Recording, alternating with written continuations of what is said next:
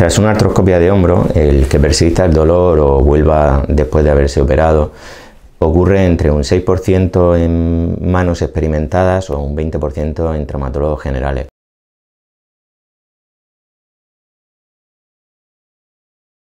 Cuando los pacientes notan que no han mejorado después de una artroscopia de hombro, vuelven a notar dolor, vuelven a notar impotencia funcional y eh, se puede deber que a que esos tendones, al ser patologías, la mayoría degenerativas, esos tendones se pueden volver a romper, igual que se les puede romper el del otro hombro.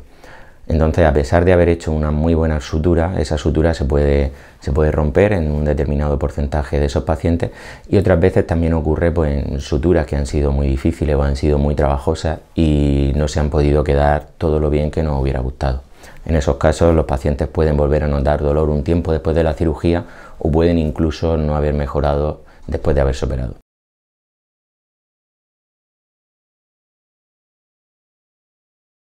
Sí, efectivamente, en esos casos en los que las artroscopias no han conseguido solucionar el problema de los pacientes, dependiendo de la edad del paciente, dependiendo de la situación que tengamos en ese momento, que previamente hayamos estudiado mediante una resonancia, podemos ofrecer varias alternativas para poder solucionar esa cirugía que en un principio no ha ido bien.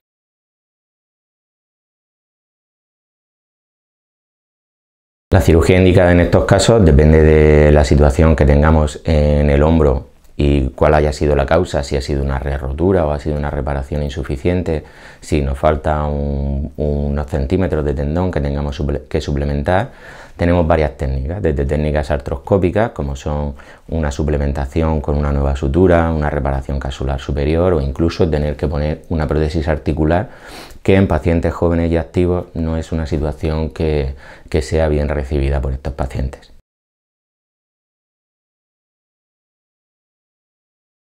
Hemos desarrollado una innovadora técnica que consiste en poner un tendón nuevo en, el hombro para poder suplir la función del tendón lesionado. Esta técnica se llama la transferencia del trapecio inferior y consiste en trasplantar un tendón, en nuestro caso de Aquiles, que cogemos de banco de tejido, lo implantamos dentro de la articulación artroscópicamente y luego lo motorizamos con uno de nuestros músculos de los que podemos prescindir, que es el trapecio inferior. Con ello los pacientes recuperan la movilidad, se les quita el dolor y en torno a unos 4 o 5 meses más o menos los pacientes tienen un arco de movilidad bastante bueno y lo más importante no tienen dolor.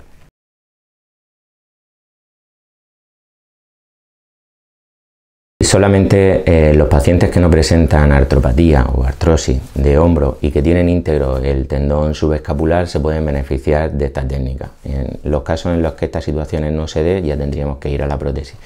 Pero la buena noticia es que si cogemos a tiempo estos pacientes y hacemos un seguimiento